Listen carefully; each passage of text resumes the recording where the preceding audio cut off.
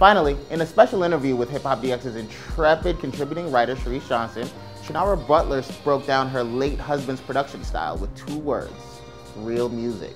You know, use those cheap instruments and the keyboards. Yeah, that's like the basics of it, but you don't keep you don't keep it like that. You're gonna get some real instruments.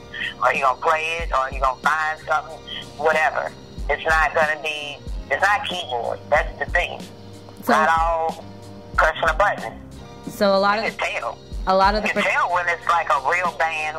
Like for the last UGK when he was here, like Chad had Andraé Crouch. Uh, we just call him Crouch. He was playing organ. I'm like, man, that ain't going to church.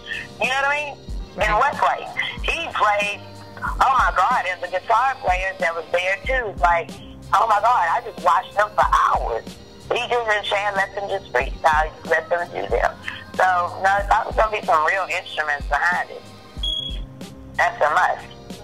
R.I.P. Pimp C. That's it for today's most interesting hip hop headlines. Let us know what you think about it in the comment section below. And as always, for more music and news, visit hiphopdx.com.